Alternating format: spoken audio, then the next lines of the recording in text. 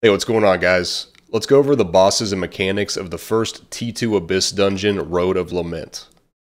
The first boss, Nazan, has one high damage mechanic and another mechanic that can stun players. At 8 and 4 HP bars, Nazan will teleport to the center of the room and create a blood pool directly around him while the rest of the room is safe. Alternatively, he can also fill the entire room with blood, and the safe area will be right around the boss. In all the runs that I've done, I've never seen him fill the entire room with blood, so expect the first outcome. When he does this, he will start shooting lasers from his hands and spinning either clockwise or counterclockwise. Just pay attention to which way he's rotating. He will also stop periodically and spin the opposite direction.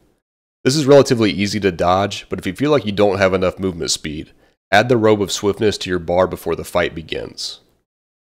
During this mechanic, when the blood pool is near the boss, he will also mark players indicated by a crosshair above your character. When this happens, you will drop two magnetic fields onto the arena.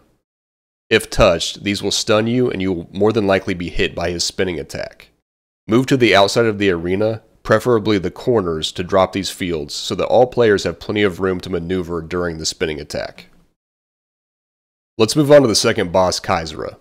She only has one major mechanic that will happen once she reaches 10 health bars.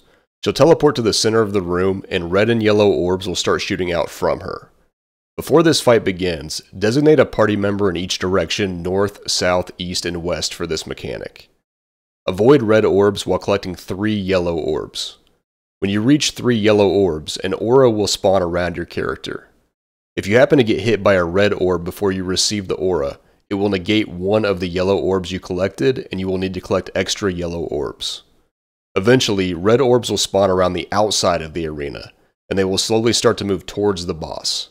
The only way to kill these orbs is with the aura that you now have. If too many orbs reach the boss, this will wipe the party. She only does this mechanic once. The only other thing to watch out for is one stagger check, use your high stagger abilities, and equip whirlwind grenades if needed. So that's it guys, hope it helps, I'll see you next time.